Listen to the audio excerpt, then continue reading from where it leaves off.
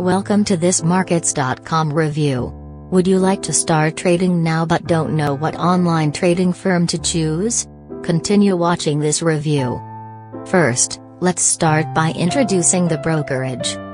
Markets.com is a leading trading platform that handles Forex and CFD exchange.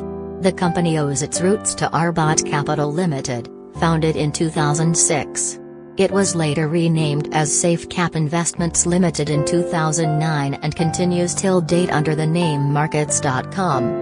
It is regulatory service that was authorized for Forex by financial services provider under license No 43906 and Cyprus Securities and Exchange Commission under license No 09208 in 2008. Since then Markets.com has established itself as a trustworthy trading platform. What type of accounts do they offer? Markets.com offers the traders three kinds of account to indulge themselves as classic, standard or premium. The minimum deposits vary from $100 for classic to $2,500 for standard and $20,000 for premium.